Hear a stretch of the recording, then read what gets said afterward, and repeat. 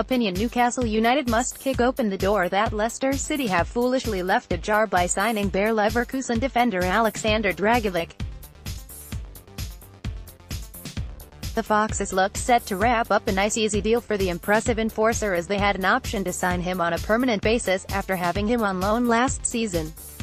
However the Leicester Mercury revealed on Wednesday that a delay in a deal getting done had seen a host of clubs join the hunt for his signature and if there's any chance he won't be heading to the King Power Stadium this summer, the Magpies must intervene.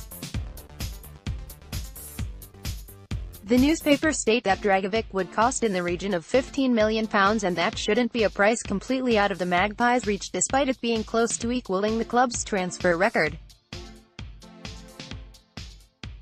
After all the Magpies at least according to the Daily Mail were thought to be in the race to sign the far inferior West Bromwich Albion's Craig Dawson who is thought to be valued at £15 million as well.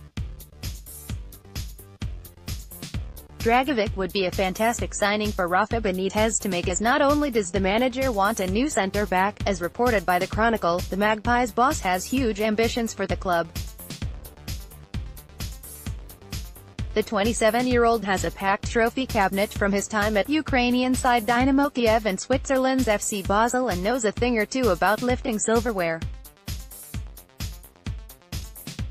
Aside from his winning mentality, Dragovic is proven in the Premier League after wowing supporters in his 11 league appearances for the Foxes in the 2017-18 season. In fact the 27-year-old was wrongly underused by the club as he put in several impressive displays in order to justify being played more. While the Magpies have a solid partnership at the heart of their defense already with Jamal Lascelles and Florian Lejeune, Dragovic would be the perfect third central defender to have in Benitez's squad. The 27-year-old is capable of keeping both talented defenders on their toes and would give the Spanish manager the option of playing a three-man defense.